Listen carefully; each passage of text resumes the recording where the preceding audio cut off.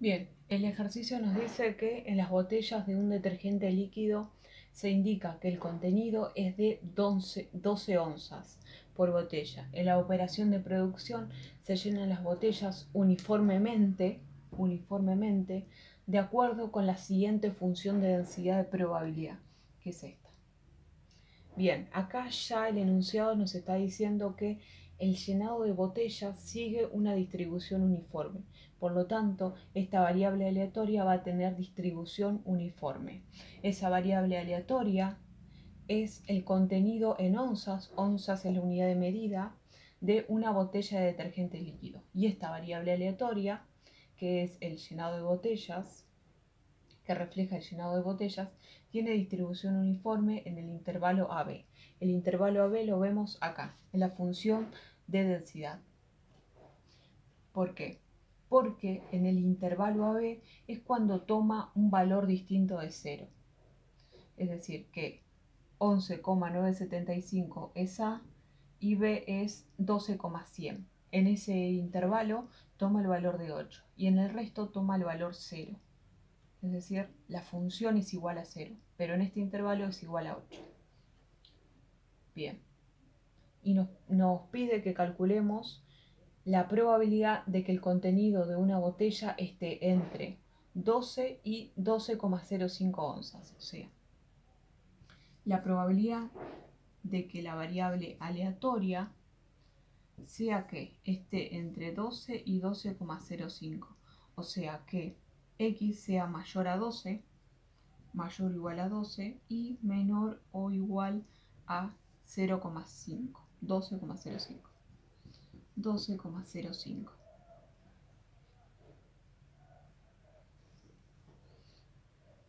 Bien, entonces esta probabilidad la podemos calcular integrando la función de densidad u otra alternativa es hacer la base, estaría por acá, porque lo que queremos calcular es la probabilidad cuando la variable aleatoria toma el valor 12 y 12,05. Esos valores estarían aproximadamente por acá.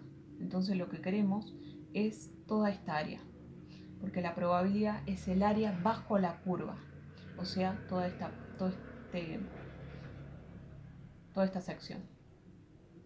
Entonces, si usamos la alternativa de base por altura, esto sería igual a la base por la altura. ¿A qué es igual la base? Lo que queremos nosotros es la probabilidad entre 11,975 y 12,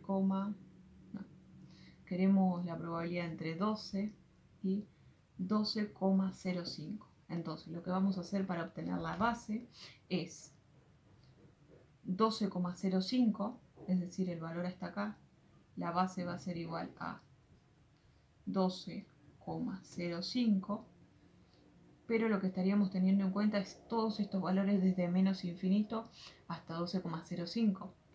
Entonces, para tener esta, esta sección, lo que vamos a hacer es restarle lo acumulado hasta el 12, o sea, menos 12. Así lo que obtenemos es esto, es este pedacito. Bueno, ya tenemos la base, lo tenemos que multiplicar por la altura. ¿La altura a qué es igual?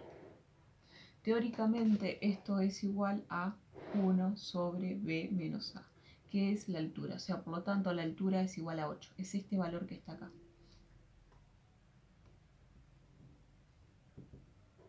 y esto nos da el área.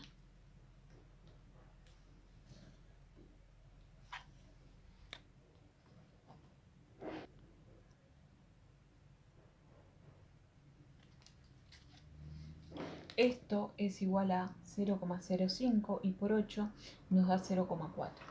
Entonces, por lo tanto, la probabilidad de que el contenido de una botella esté entre 12 y 12,05 es de, es de 0,4. O sea, la probabilidad es igual a 0,4. Bien, el punto B lo que nos pregunta es cuál es la probabilidad cuál es la probabilidad de que el contenido de una botella sea 12,05 onzas o más. Entonces, el punto B lo que nos están pidiendo es la probabilidad de que el contenido de las botellas sea 12 onzas, es decir, igual que 12 onzas o más. O sea, lo que nos están pidiendo es los valores mayores o iguales a 12 onzas. 12,02 onzas. 12,02 estaría por acá. Entonces esto va a ser mayor o igual a 12,02 onzas. Bien, entonces esa probabilidad va a ser igual a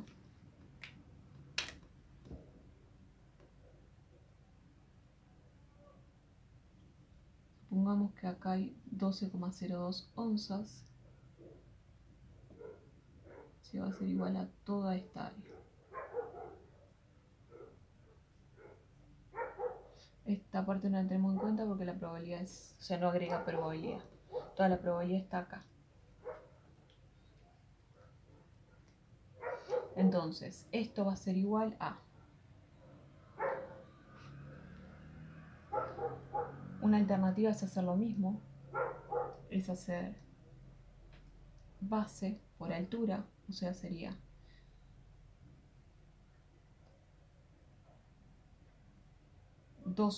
cien si queremos la, la base, esta base, lo que tenemos que hacer es 12,100 menos 12,2.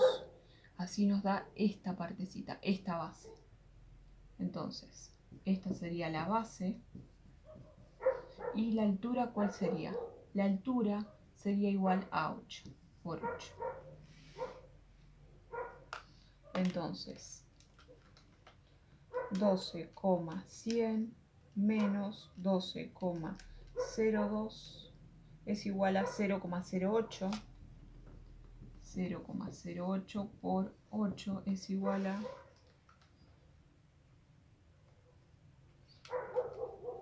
nos da una probabilidad igual a 0,64 o sea la probabilidad de que el contenido de las botellas tome un valor que sea mayor o igual a 12,02 es igual a 0,64 Bien, y lo que nos pregunta el punto C es que nos dice, nos plantea la, la cuestión de que en, el control de calidad se aceptan que, se, que el llenado de la botella sea llenada con más o menos de 0,2 onzas de lo que indica la etiqueta. La etiqueta lo que nos indica es que el contenido se llena con 12 onzas.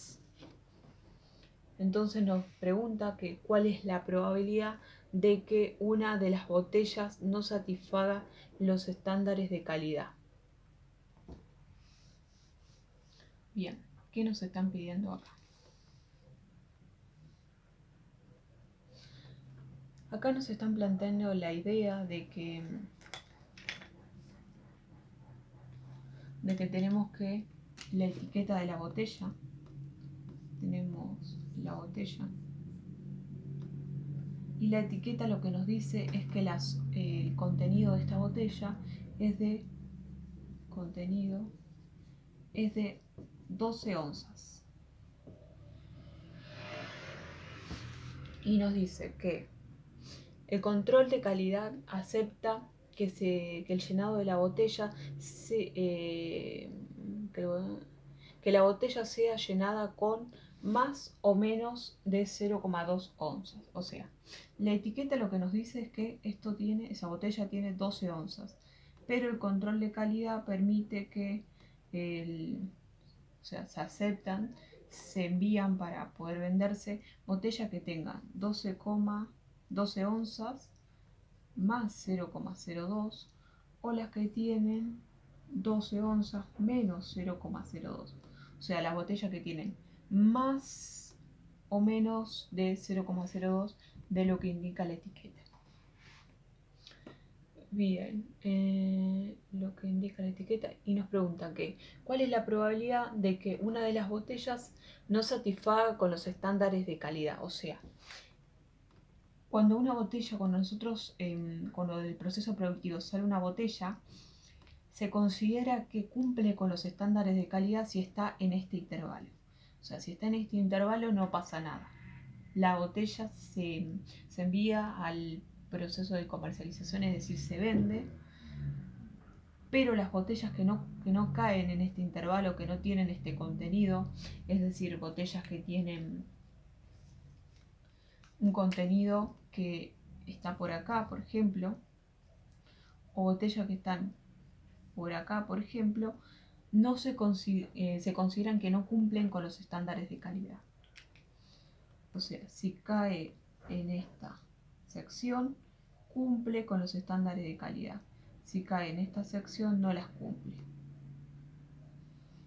Y nos preguntan que cuál es la probabilidad de que una de las botellas no satisfaga. O sea, cuál es la probabilidad de que una de las botellas tenga, por ejemplo, este contenido o este contenido. En el caso del gráfico sería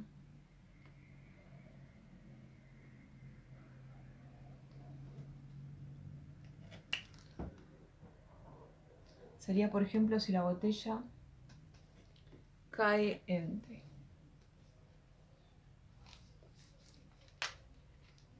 12 menos 0,02 esto es igual a 11,98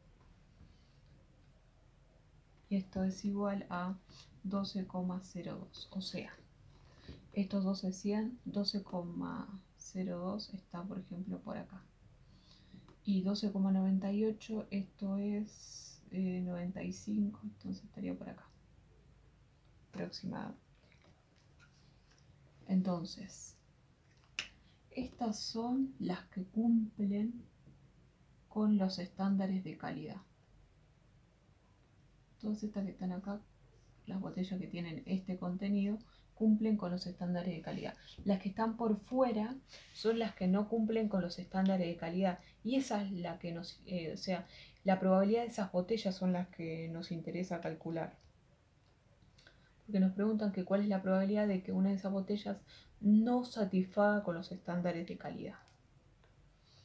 Bien, entonces lo que vamos a hacer es, una alternativa es, em, que es la primera, que es calcular esta área, esta que está acá,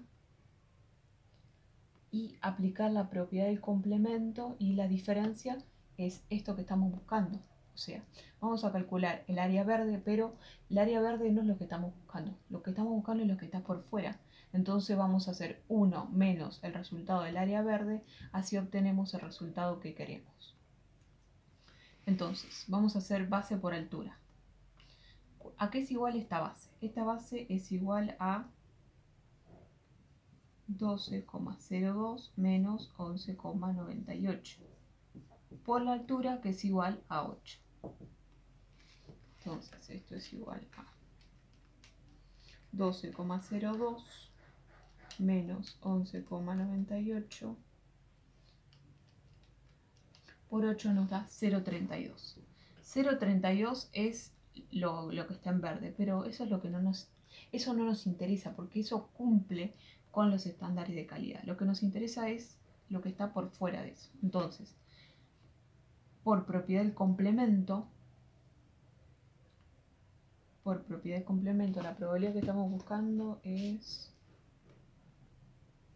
podemos expresar de esta forma,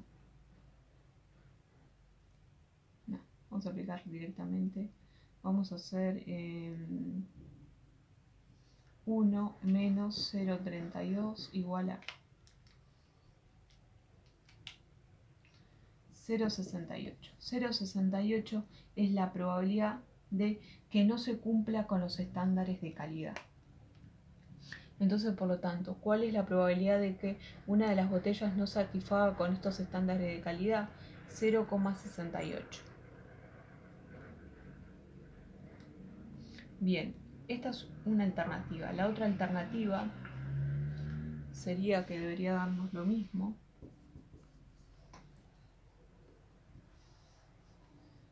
Es hacer esto. Es calcular la base y la altura de cada pedacito. Debería darnos lo mismo. O sea, lo que vamos a hacer es a qué es igual esto más a qué es igual esto. O sea, esta área más esta área vamos a hacer la probabilidad de que x sea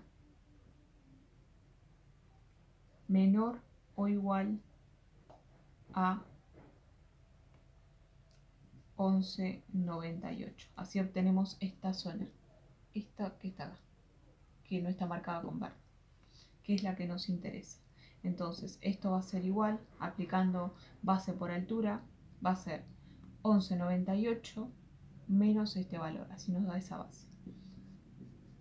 11,98 menos 11,975 por la altura que es 8.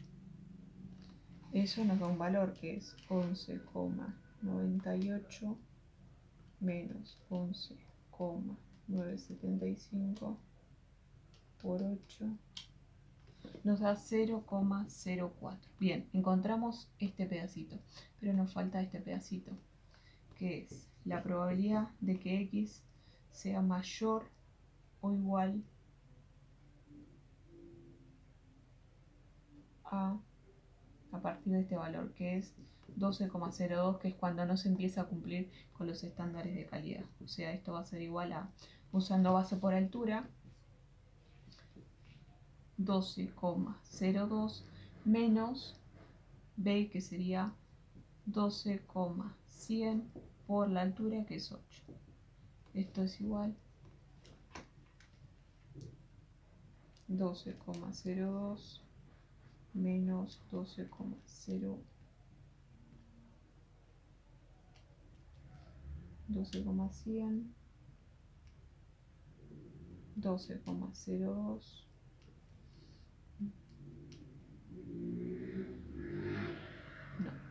acá sería 12,100 menos 12,02 siempre nos tiene que dar positivo. 12,100 menos 12,02 ahí está. Nos da 0,08 por 8 0,64 0,64 y sumamos estos dos que sería como la unión sería la suma de estos dos porque son disjuntos es decir si una botella cae acá tiene este contenido no puede tener a su vez este contenido. Entonces lo que aplicamos es el axioma 3 de la probabilidad el cual nos dice que si sumamos dos eventos, o sea, la unión de dos eventos disjuntos es la suma de sus probabilidades, 0,04 más 0,64 y nos da 0,68. Entonces, por lo tanto, la probabilidad de que una de las botellas no satisfaga con los estándares de calidad es de 0,68.